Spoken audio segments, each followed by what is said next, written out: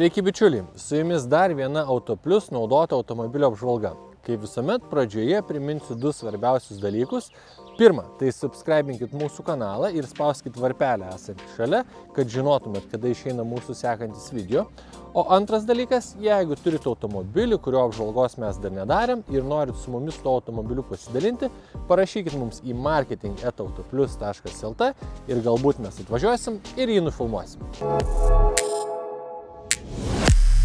Šiandien jūsų teismui atiduodame trečiosios kartos Škoda Superb. Išbandomas automobilis turi universalo kėbulą, automatinę greičių dėžę, priekinius varomus ratus, o po kapotu slepiasi 1,6 litro darbinio tūrio dizelinis variklis. Šių dizelinių variklių gamyba buvo nutraukta 2016 m. rugsėjo mėnesį. Per visą gamybos periodą Škoda Superb automobilių variklių gama sviravo nuo 1,4 litro darbinio tūrio variklio su vos 123 arklio galiomis iki net 2 litrų darbinio tūrio talpos su 276 arklio galiomis.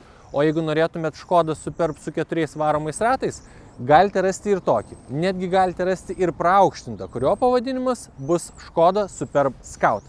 Trečioji Škoda Superb karta kol kas yra paskutinė ir tokį automobilį galite rasti tiek naudotą, tiek naują pardavimų salonuose.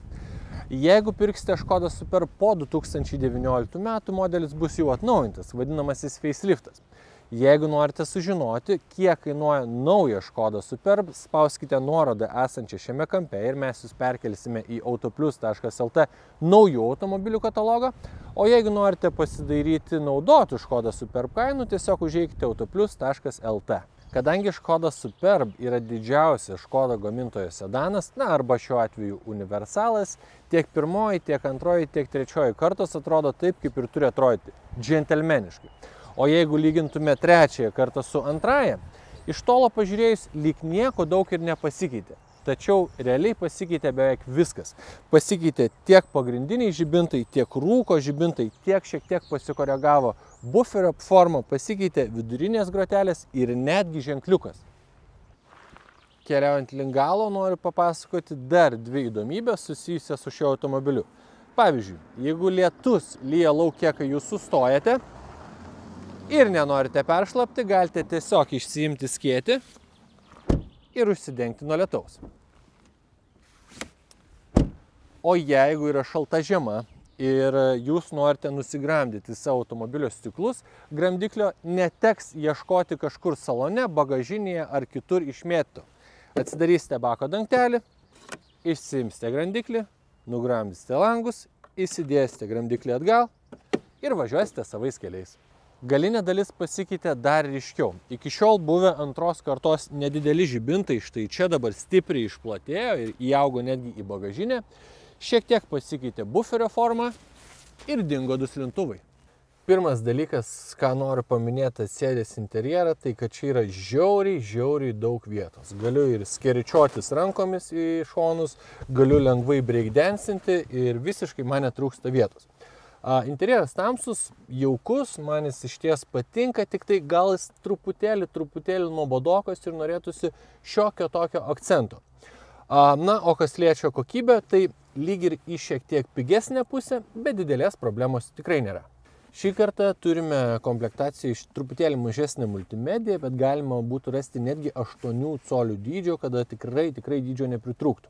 Bet iš esmės tos pačios funkcijos yra ir čia. Na, aišku, yra radijas, galime prisijungti telefoną su laisvų rankų įranga, galim leisti muziką iš telefono, galim naudotis navigacija, yra e, aišku ir nustatymų, nuo garso iki pačio automobilio nustatymų ir netgi galima stebėti šiokius tokius rodmenis, kaip kad pavyzdžiui, jeigu vienas ratas išsileis, jums parodys, kad tam rate yra išsileidęs oras ir panašių. Po multimedija dviejų zonų klimato kontrolės valdymas, vėlgi labai elementarus, trys ratukai, e, viskas labai paprasta, dar yra keli mygtukai, kad nusistatytumėte, kurią vietą pūsti. A, štai čia yra du tušti mygtukai, čia būtų sėdinių šildymas, jeigu tokią komplektacijos dalį mes aišku turėtume. Šiek tiek žemiau dėtuvė telefonui su bevėliu pakrovimu, USB didžioji jungtis, AUX jungtis ir labai jau retai sutinkamas prikurytelis o aplinkui bėgių per metėją dar turim keletą mygtukų. Vienas iš jų išjungia start-stop sistemą, kitas įjungia arba išjungia parkavimosi daviklius, e, rankinis stabdis, automatinis laikymas automobilio įkalniai, užrakinimas, na, o visi mygtukai, visos tiksliau vietos, kuriuose galėtų būti mygtukai, bet yra tuščios, simbolizuoja tai, ką galėtume turėti, bet šioje komplektacijoje neturim. Dabar dar kaip įprasta apžvelgime dėtuvės. Tai po vieną solidaus dydžio dėtuvę turim kiekvienose durise. Štai čia kairėje pusėje vairo turim pakankamai didelę dėtuvėlę su dviejomis vietomis įsikišti vizitinėms ar kažkokioms tai kitokioms kortelėms. Štai čia, kaip jau minėjau, turim dėtuvę telefonui. Čia arba du, arba vieną podelį laikiklį, priklausomai kaip jūs tą podelį dėsit. Labai didelį vėsinamą porankį su dvigubu dugnu, kur galėtume įsidėti, na, pusę telefono maždaug. Daiktadėžė, labai solidaus dydžio ir turim labai fainą dėtuvėlę jūsų, na, dažniausiai akiniams nuo saulės. Jeigu galvau, kad prieki vietos daug, tai galia čia absoliučiai įspūdinga. Mano galvai vietos, na, pakankamai tvarkingai, per visą ranką ir dar truputį. Bet mano kojams sėdint už paties savęs. Viena ranka, antra ranka ir dar lieka vietos. Čia yra wow. Toliau, labai praktiškas automobilis, turim porą dėtuvių štai čia, turim po kišenėlę netgi šonę, turim nedidelį ekraną, kuris nėra trečia klimato kontrolės zona, bet rodo laiką ir temperatūrą laukia. Jeigu rūkot, turim peleninę su dar vienu prikūrėju. Per vidurį turim porankį su dviem podelių laikikliais, Na, manau, čia patogiai turėtų įstatyti ir kažkokį tai, na, dar sakykime, galbūt telefono laikikliuką. Vidurinė sėdynė yra lygi, tad čia sėdėti bus tikrai patogu, bet transmisijos tunelis labai didelis, dėl ko tikrai sumažėjo vietos kojams. Nu, daugiau dar galiu pasakyti, kad čia iš ties šviesu ir prie to puikiai prisideda ne tik dideli šoniai langai, bet dar ir maži langeliai bagažiniai. Na, o bagažinė turbūt vienas įspūdingiausių dalykų šiame automobilyje. Jos talpa 660 litrų su sėdynėmis atlenktomis taip, kad galėtų sėdėti žmonės viduriniai eilėje. Bet ji ne tik didelė, ji ir labai patogi naudotis. Pavyzdžiui, jeigu norit patraukti panelį atgal, reikia tiesiog paukštelt per viršų. Jeigu dar per mažai vietos, paukštelkit dar kartą. Dugnas yra dvigubas, štai čia rasime šiek tiek dėtuvių, kas yra labai patogu kasdien vežiojamiems daiktams. Turime ir daug kabliukų kasdieniams pirkiniams, tris vienoje pusėje, tris kitoje pusėje. Kiekviename šone dar turim ir po dėtuvę susidėti papildomiams daiktams. Na, o sėdynės atsilenkia ir bagažinės talpa dar labiau padidėja. Tačiau šioje vietoje atsiranda kampas. Todėl didelį ir sunkų krovinį stumtelti bus pakankamai sudėtinga. Tačiau Škoda nebūtų Škoda, jeigu neturėtų ir dar vieno įdomaus dalyko. Bagažinės lemputė išsima ir čia yra žibintuvėlis. Jis yra magnetinis ir gali prilipti bet kurioje vietoje. Tai labai puikiai pasitarnaus naktį keičiant ratą, na ar knisantis po savo daiktus bagažiniai. O apie pagrindinės Škoda Superb e, techninės savybės, kaip visuomet, paklausime RDL serviso. Servisas sakė, kad automatinė DSG pavarų dėžė kokybiška ir daug problemų nekelia. Elektronikos sistema taip pat kokybiška ir ilgamžė. Automobilio pakabos konstrukcija paprasta ir patikima, tačiau ridai pasiekus 100 tūkstančių kilometrų jau gali tekti pakeisti kai kurios pakabos elementus.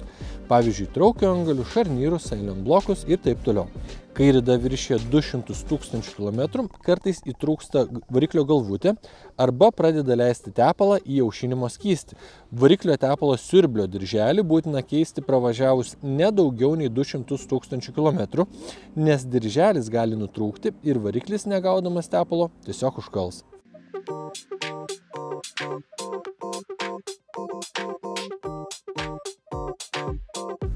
Turiu pripažinti, kad automobilis iš tikrųjų labai labai komfortiškas. Važiuoklė dirbo tiesiog puikų darbą, paslėpdama nuo manęs visus kelio neligumus ir duobes, o važiuojant per gulinčius policininkus iki minimalaus 10 km per valandą greičio stabdyti tikrai tikrai nereiks. Kalbant apie valdymą, tai automobilis valdomas gerai, kiek gerai gali būti valdomas tokio dydžio sedanas universalas. E, bet sportišku vadinti automobilio tikrai negaliu. E, visgi, na, ne tam jis ir buvo pritaikytas, bet važiuodami su poniu į žirgų varžybas, turbūt gero rezultato irgi nesitikėtume. Greičių dėžė 7 bėgių automatinė DSG.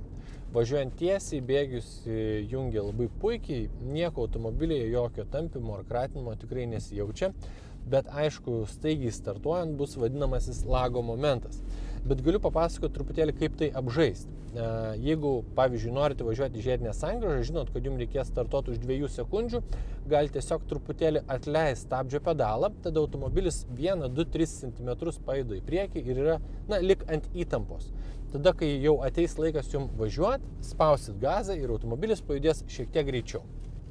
Nepaisant fakto, kad automobilis labai didelis, iš tiesų matomumas e, labai geras tiek priekinis, tiek šoniniai langai labai dideli, e, per galinio vaizdo vidrudėlį viską matau irgi puikiai, statramšiai visi keturi yra a, siauri, tai nematomumo jokia zona nesusikūrė, problemų gali kilti nebent jeigu važiuosite atbulomis, bet iš esmės čia irgi nėra bloga situacija, kadangi parkavimo davikliai superbė yra jau pačioj praščiausiai komplektacijai.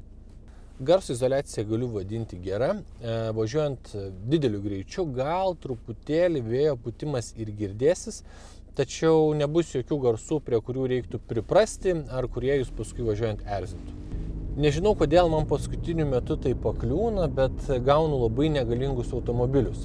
Taip yra ir šį kartą. E, vairuojam, priminsiu, 1,6 litro darbinio tūrio dizeliuką su vos 120 arklio galiu. Tai jeigu mėgstat agresyvę trauką, jos šiame automobilyje tikėtis tikrai nereiktų. E, jeigu mėgstat gerą trauką, reiktų žiūrėti 2 litrų benziną arba bent jau 2 litrų dizelį, tada važiuosit tikrai, tikrai e, greičiau iš vietos.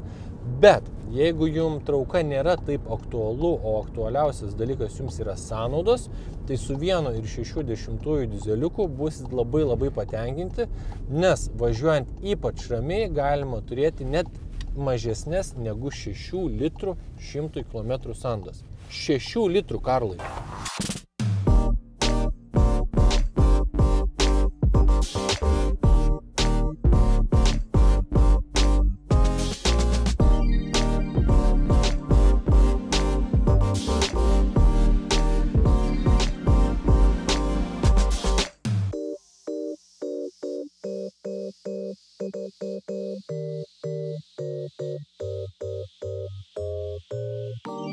Na, o pabaigai pasakysiu tiek. Jeigu praeitą savaitę jums pasakojame apie Toyota CHR ir sakiau, kad tai automobilis, kuris tiktų žmonėms ieškantiems stiliaus, bet nepraktiškumo, tai šį kartą yra absoliučiai atvirkščiai. Nesakau, kad Superbas absoliučiai nestilingas, tačiau jeigu ieškote praktiškumo, manau šį automobilį išbandę kitur nebesidairysite. Bičiuliai, šiandien tiek. Jeigu patiko video, užmeskit laiką, šėrinkit su draugais ir susimatom po savaitės.